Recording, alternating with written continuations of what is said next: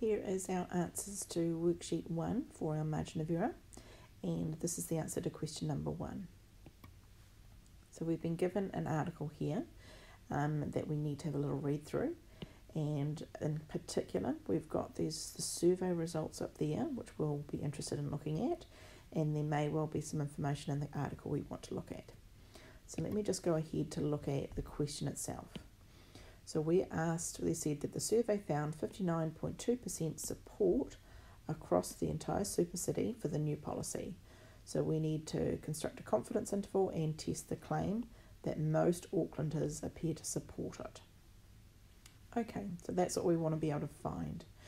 So the first thing we need to do is we need to go back and because we're looking at margin of error and constructing a confidence interval, we need to find the sample size. So if I read through the article, right here, it tells me that there was a survey of 500 Aucklanders. So that's the first piece of information that I need to write down is that I've got a sample size of 500. Now I'm just going to go and have a look at my chart to determine which of the three scenarios I'm in. So I know I've only got one sample size, so it means I must be in one of these two categories. Okay, so I've either got the no comparison, one group, or I'm comparing within one survey. It's because I've only got one sample size in both of these scenarios, I've only got one sample size. So let me go back to the question. It's talking about 59.2% support for the no policy. So we're only looking at a single value, we're not making a comparison. So because we're not making a comparison, let me just those bits out. So I'm not looking at comparison anymore. Um, that means that I am in this situation here. All right, so I'm going to start off by looking for my margin of error formula, which is this one here, 1 over the square root of n. And then I'm going to do my confidence interval, which is your poll, your percentage plus or minus that margin of error. So that's what I'm going to do now. So I know my margin of error is 1 over the square root of n1, which in this case 1 over the square root of 500. If I put that into my calculator, I'm going to get an answer of 0.04472 and I need to turn that into a percentage. So I'm going to multiply that by 100 and that's going to give me 4.47% um, and I'm just rounding this to two decimal places. So at this stage, two decimal places for a percentage is good. If I'm doing it as a decimal, um, 0.0447, I would be doing at least four or five decimal places back there. Okay, so now that I've got my margin of error, now the next part is I need to do the confidence interval. So it's that percentage plus or minus the margin of error. So I'm going to say CI for my confidence interval equals the percentage plus or minus my margin of error. So in this case, we've got our percentage is 59.2% plus or minus our margin of error of 4.47%. And now I'm going to split that into two calculations. I'm going to do 59.2 um, percent. Oh, I'm not going to bother writing the percentage sign at the moment. Take away 4.47 and 59.2 plus 4.47. And notice how I did the minus one first because when I write a confidence interval in brackets like this, it's think about it in terms of your number line, okay, in terms of that number line. I'm always going to put the smallest number and then the biggest number.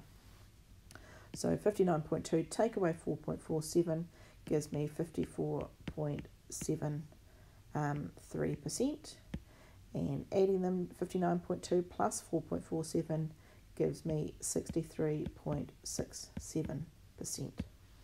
So in terms of a confidence interval, I've got a confidence interval going between 54.7% and 63.7%. All right, so there's my confidence interval that it goes between that. So that's estimating for, from a sample, I'm estimating for the population of all people in Auckland, in the super city, that the percentage of support is somewhere between 54.7 and 63.7%. Okay, so I need to interpret this confidence interval. Okay, So um, that's what I want to say is that the um, amount of support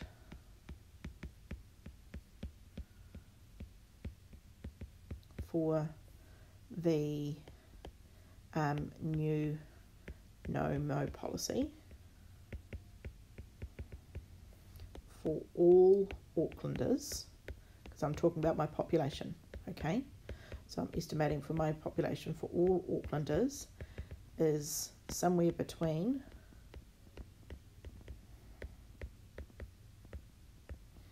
fifty-four oh not five fifty four point seven percent and sixty three point seven percent.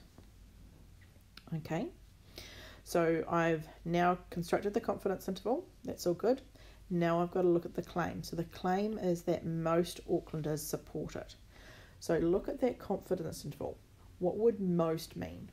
Well, if I would compare it to 50%, all right? So 50% means half. So if we're talking about more than half, then that would be most, that would be the majority, okay? So in this case, our confidence, so the entire confidence interval is above that 50%. So therefore, I agree with that claim. All right, so that's what I'm going to say is I agree with the claim because um, the confidence interval is above um, 50%.